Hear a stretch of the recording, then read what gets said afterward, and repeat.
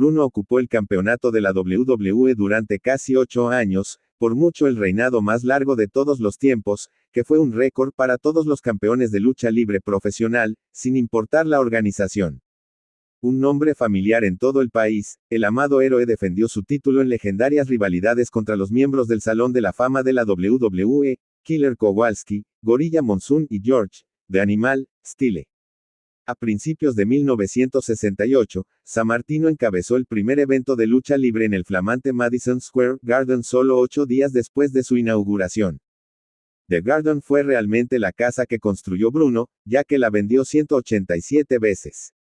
Cuando perdió el título en 1971, se vio a hombres adultos llorando, pero el 10 de diciembre de 1973, Martino se convirtió en el primer dos veces campeón de la WWE y mantuvo el título durante tres años y medio.